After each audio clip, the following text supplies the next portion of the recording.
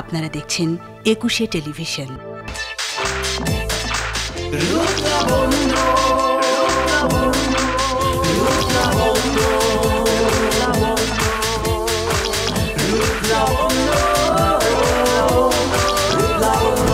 Success is often achieved by those who don't know failure is inevitable. Hello viewers this is Maria Kispotta আবারও আপনাদের সামনে হাজির হয়ে গেলাম একুশে টেলিভিশনের পর্দায়। সৌন্দর্য বিষয়ক অনুষ্ঠান স্যান্ডেলিনা রূপ লাবণ্য আমাদের এই অনুষ্ঠানটি সাজানো হয়েছে দুটি সেগমেন্টে। প্রথম সেগমেন্টে থাকছে সেলিব্রিটি অ্যান্ড এক্সপার্ট আড্ডা দ্বিতীয় সেগমেন্টে থাকছে বিউটি কেয়ার অ্যান্ড টিপস চলুন দর্শক, দেরি না করে শুরু করে দিয়ে আমাদের প্রথম সেগমেন্টটি এবং পরিচিত হয়ে নেই আমাদের আজকের অতিথির সাথে। আমার সাথে আজকে আড্ডা দিতে এসেছে the beautiful the gorgeous and the new generation craze singer Kornia. এবং আমার সাথে আরও একজন অতিথি আছেন Samia Farah the designer and owner of Faraz world so how are you guys ভালো আছি, আলহামদুলিল্লাহ। কর্নিয়া তোমার কাছে চলে যাই আগে কেমন চলছে দিনকাল এখন? আহ, আলহামদুলিল্লাহ এখন একটু একটু বেটার তুমি রিসেন্টলি বিয়ে করেছ। ও রিসেন্টলি তাও মোটামুটি এক বছর এক বছর। কাছাকাছি। হ্যাঁ আমরা সাথে জানতে পারি না হ্যাঁ। তাহলে আমাদের কাছে রিসেন্টলি হওয়া উচিত সেটা তাই না? কেমন চলছে বিবাহিক জীবন? হ্যাঁ আলহামদুলিল্লাহ সবকিছু ভালো। তুমি তো আমার নেইবার হ্যাঁ। সো বলা চলে যে প্রতিবেশীরা নাকি অনেক আপন হয়ে থাকে। তো। তোমার কাছে আমার আপন হওয়ার জায়গাটা কতটুকু?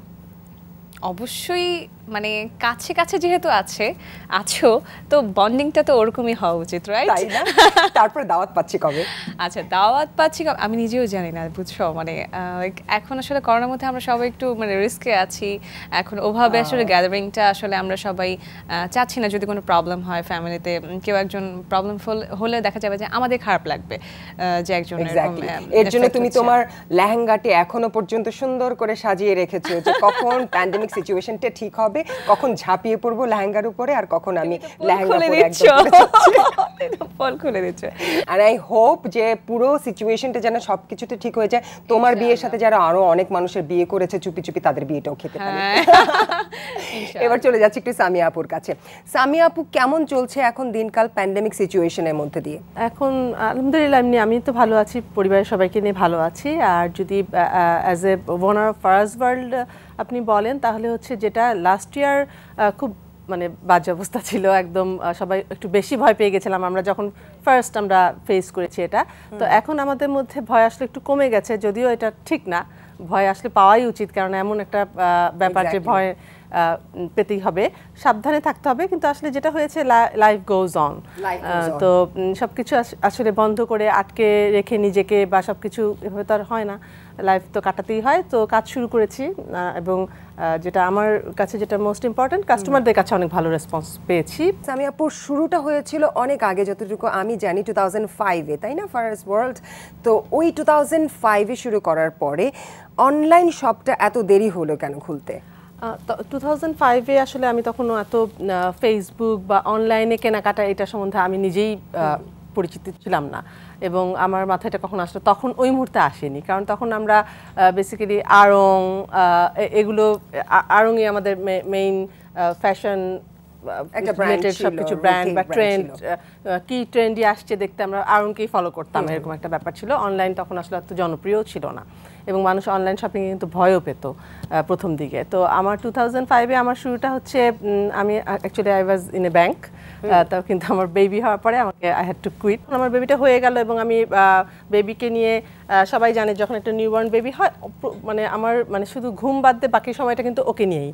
সো কিন্তু আমার আশেপাশে আমার ফ্রেন্ডস বা কলিগ ওরা কিন্তু ওদের লাইফ যেভাবে ছিল ওরকমই চলছে। তো এই যে একটা হঠাৎ করে একটা বিশাল চেঞ্জ আমার লাইফে তখন কিন্তু সামহাও একটু ফ্রাস্ট্রেটেড কাজ করে ফ্রাস্ট্রেশন কাজ করে হ্যাঁ? যে আল্লাহ কারও আমার দিকে তাকানো সময় নেই এবং মানে কোথাও যেন একটু দুঃখ হ্যাঁ, আচ্ছা, হয়ে যায় আমাকে কেউ ইগনোর করছে আমাকে কেউ খেয়াল করছে না আর আমি এখন কিছু জবও করি না হাউস ওয়াইফ হয়ে গেলাম পুরোপুরি এরকম একটা ব্যাপার আর কি। তখন আমার ছোট বোন আমাকে বলল তুমি এরকম ফ্রাস্ট্রেটেড হয়েও না তুমি তোমার যেটাতে ইন্টারেস্ট তুমি খুঁজে বের করো যে তোমার কি নিয়ে কাজ করতে ভালো লাগে যেটা তুমি ঘরে বসেই করতে পারো তুমি ভাই don't you go for some designing মানে তুমি বাসায় তো বসে আছো ডিজাইনিং কর কারণ এই ব্যাপারটা একটু নেক ছিল ছোটোবেলা থেকে। আচ্ছা যে সো ওই নেকটার কারণে হ্যাঁ, ওই হ্যাঁ, হ্যাঁ। ইচ্ছাটা স্বপ্নটার এ কারণে মাথায় এসেছে যে এটা একটু করতে পারি, wow fantastic. So having a baby and changing your mind into that way was a positive thing i আমরা আবারও চলে আসব আপনার কাছে কিন্তু এই মুহূর্তে যাচ্ছি কর্নিয়ার কাছে। কর্নিয়া পারফরমেন্সের সময় তোমার ফ্যাশন অ্যান্ড স্টাইলে অনেক কিছুই তোমাকে খেয়াল রাখতে হয়। তো সেই জায়গাগুলো কে তোমাকে সাজেস্ট করে? তোমার কি do you have any personal designer or stylish of your own নাকি তুমি নিজের থেকেই করো এগুলো? না এটা আমি আসলে নিজে থেকেই করি। মানে ওভাবে আমার কোনো স্পেসিফিক কোনো ডিজাইনার নেই। আমি নিজে আমার সবসময় একটু কমফোর্ট ফিল করি হচ্ছে আমি একটু ওয়েস্টার্ন পড়তে স্টেজের মধ্যে দেখা যায় যে একটু হালকা ওয়েস্টার্ন টাইপের থাকলে না আমি একটু মুভ করতে ইজি হয় আর কি। আমি দেখা যায় মাঝে মাঝে স্নিকার পরি। ঠিক আছে? আমি হিল পড়তে আমি একটু কম- মানে হিল খুব একটা পড়ি না কারণ আমি হচ্ছে কি স্টেজে দাঁড়িয়ে গান করতে পারি না। অডিয়েন্সের সাথে মজা করি গান করি এখান থেকে দৌড়াতে ওখানে হ্যাঁ।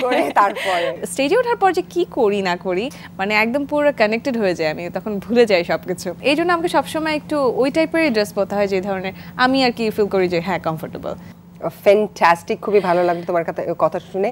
আবারও আসব তোমার সাথে কথা বলতে কিন্তু এই মুহূর্তে চলে যাচ্ছে একটু সামিয়া আপুর কাছে।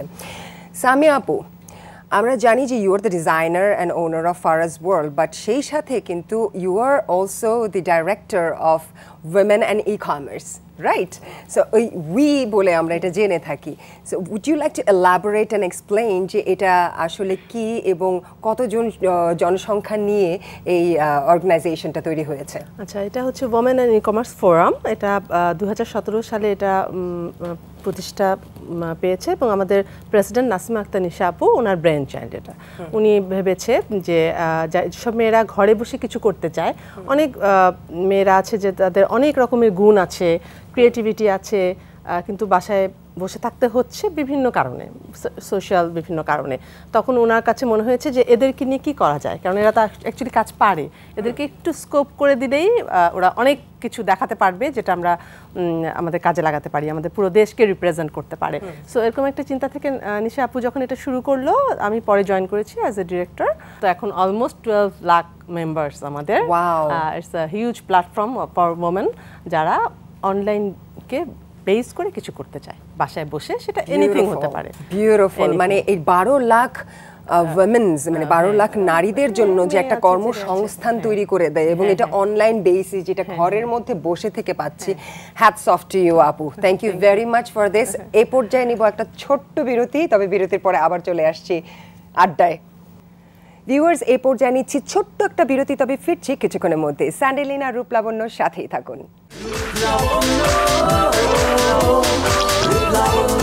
Hello viewers welcome back to Sandalina Rup Labonno আমি মারিয়া কিসপটা তো আছি আপনাদের সাথে। এবার চলে যাব আমাদের দ্বিতীয় segment beauty care and tips চলুন দর্শক, দেখে আসি কি আছে আমাদের এই সেগমেন্টে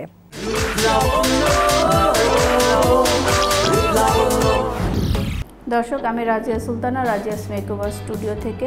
রূপলাবণ্যর সকল দর্শককে অনেক অনেক শুভেচ্ছা।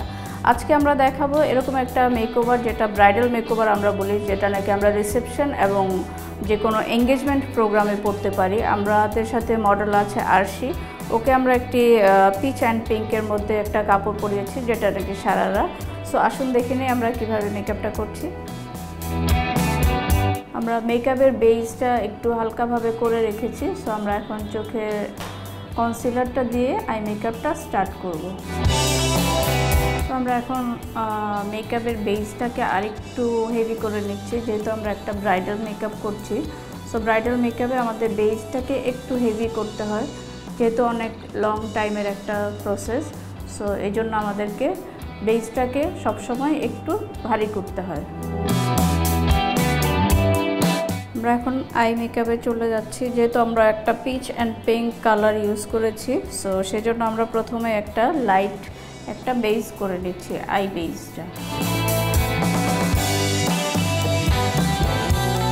সো আমাদের ডার্ক পিঙ্ক শ্যাডোটার কাজ শেষ হয়ে গেল। সো এখন আমরা যেহেতু আমাদের চোখের, সবসময় চোখের দিকে ফোকাসটা বেশি থাকে সো আমরা আই বলের উপরে একটু পিগমেন্টেড শেড দিব, যেটা নাকি আমাদের অনেকক্ষণ সময়, অনেক লং টাইম সময় থাকবে এবং জিনিসটা দেখতেও খুব ভালো লাগবে।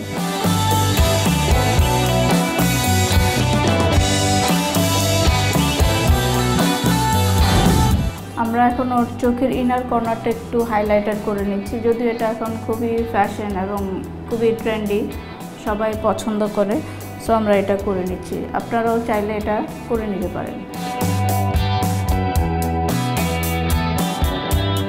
নাকটা আমরা কন্ট্রোলিং করে নিচ্ছি, এবং কন্ট্রোলিংটা কেন খুবই ইম্পর্টেন্ট কারণ কন্ট্রোলিংটা করলে চেহারার যে আমাদের ফেসের যে শেপটা শেপটা একদম পারফেক্ট আসে। নাহলে হয় দেখা যাচ্ছে যে মুখটা আমরা যখনই মেকআপ করি, আমাদের ফেসে অথবা আমরা কাউকে মেকআপ করি, তখন দেখি যে ক্যামেরাতে সেটা অনেক বড় লাগে। সো এটাকে শেপে আনার জন্যই আসলে আমাদের মেইন কন্ট্রোলিংটা দরকার হয়।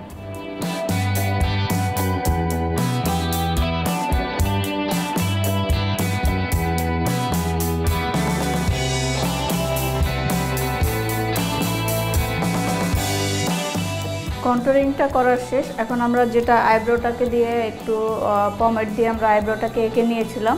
ওই আইব্রোটা যেহেতু আমরা ফেসে পাউডার দিয়েছি ফাউন্ডেশন দিয়েছি সো এটা একটা পাউডারে চলে আসে। সো আমরা এই আইব্রো ব্রাউন যে মাস্কারাটা আছে, সেটা দিয়ে সেট করে নিচ্ছি।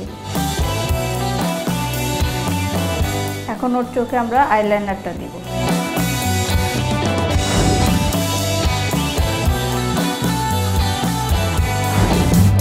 লাইনারের কাজটা শেষ হয়ে গেছে, এখন আমরা ওকে ল্যাশটাকে পরিয়ে দিব।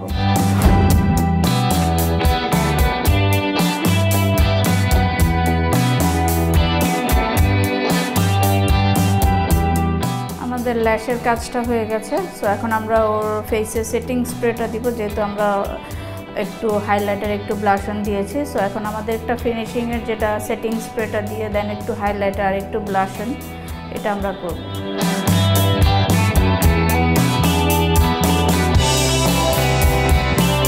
যেহেতু ড্রেসটা একদম লাইট পিচ সো আমরা একটু পিঙ্ক নোট পিঙ্ক লিপস্টিকটা অ্যাপ্লাই করব। দর্শক লিপস্টিক দেওয়ার মধ্য দিয়ে আমাদের ফুল ব্রাইডাল মেকওভারটা শেষ হয়েছে। আশা করছি আপনাদের কাছে অনেক ভালো লেগেছে। সকলকে অসংখ্য ধন্যবাদ।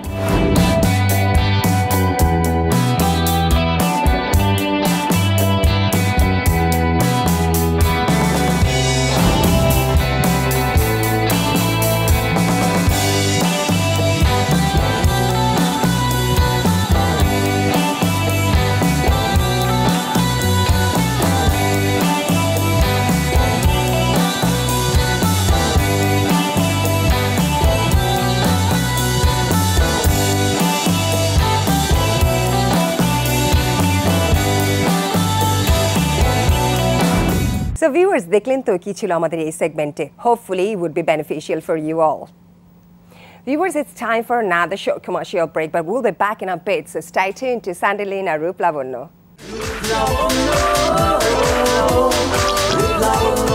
এই viewers welcome back to Sandalina Rup Labonno আমি মারিয়া কিসপটাতে ছিলাম। আমি আপনাদের সাথে সেই সাথে রয়েছে the beautiful Kornia and the most talented Samia Farah ছিলাম আড্ডায় রত আবারও চলে যাব আড্ডায়।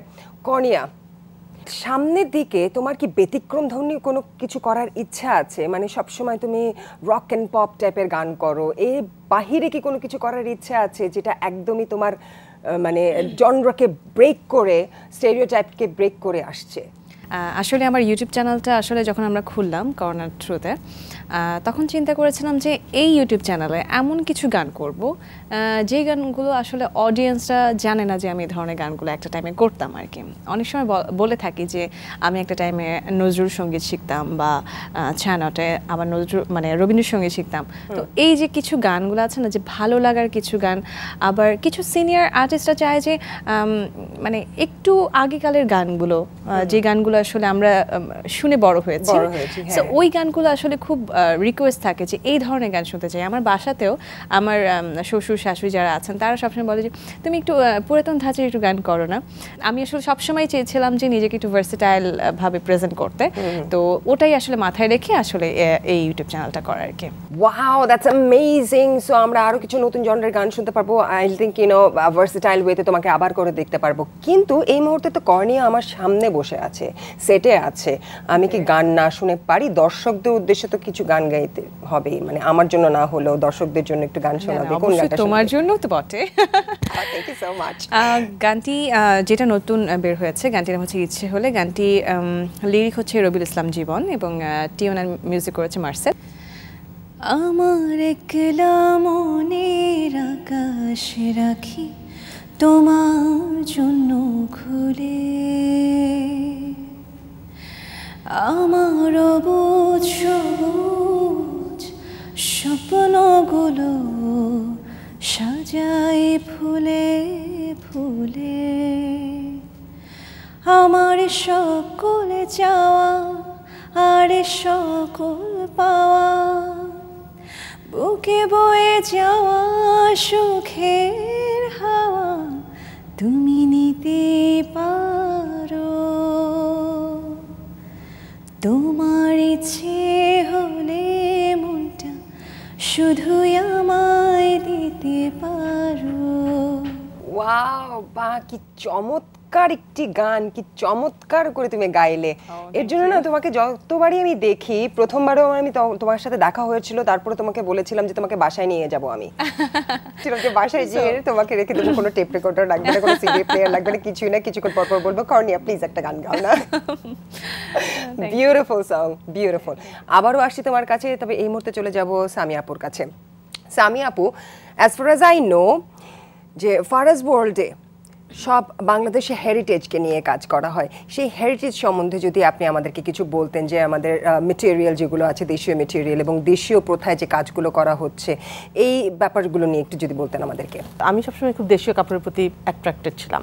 আমি নিজে সবসময় মাসলিন মানে সিল্ক রাজশাহী সিল্ক জামদানি এগুলো কাপড় আমি অ্যাজ এ ফ্যাশন ডিজাইনার কাজ করার আগে থেকেই আমি ক্যারি করতাম আগে থেকে আমি পরতাম। এবং তো যখন আমি কাজ শুরু করেছি অবভিয়াসলি আমার যেহেতু এটা ওগুলো আমার পছন্দের জিনিস এবং আমি I was very much comfortable with all this fabrics তো আমি ভাবলাম যে এগুলো দিয়ে আমি শুরু করি। এবং আরেকটা জিনিস আমাকে খুব ভাবাতো সেটা হচ্ছে আমি যখন একটু এসএসসি কমপ্লিট করেছি আমি একটা খুব ম্যাগাজিনে বা কোথাও গিয়ে একটা ডিজাইনার ক্লোদিং দেখলাম।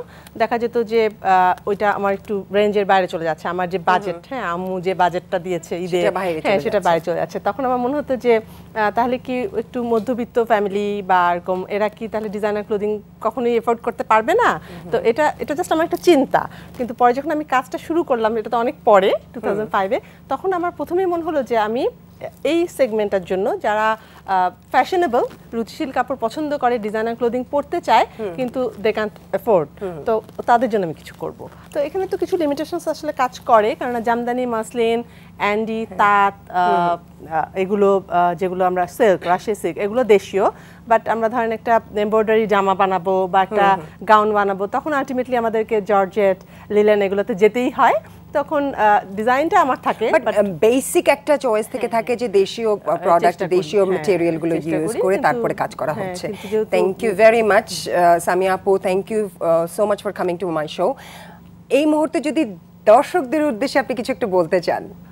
দর্শকদের উদ্দেশ্যে অ্যাকচুয়ালি এটাই বলতে চাই যে দেশীয় প্রোডাক্ট বেশি বেশি করে জানি ওনারা কিনে কারণ আমরা অনেক সময় পার্শ্ববর্তী দেশের প্রোডাক্টের প্রতি বেশি ঝুঁকে যাই।